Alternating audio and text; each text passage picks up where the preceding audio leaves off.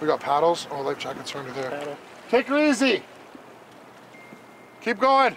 For Jessica Raymond, it's all been overwhelming.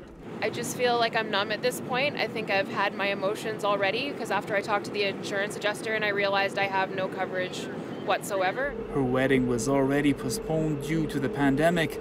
Now she has a new nightmare. My wedding dress is sitting in my house. I have no insurance, nothing because I live on a floodplain, and the water level is above my garage door.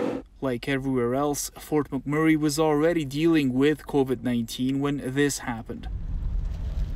This hotel, shut down due to a lack of business, now houses evacuees like Henry Osabor. It was challenging. Like the first day I came here, you know, I wanted to go straight to the elevator and I saw some guys waiting. I have to, hey, stay back. One person at a time, you know, so you don't touch things anyhow. When you get into your room, you want to quickly wash. Some of those coronavirus restrictions have now been lifted to allow people to work together to save what they can while others wait for news on the homes they've had to abandon.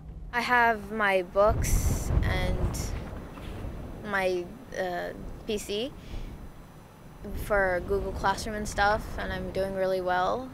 Today, Fort McMurray's mayor said the number of buildings affected is now half that of the 2016 wildfire, while the premier is hopeful the massive raft of ice that caused the flooding is starting to shrink.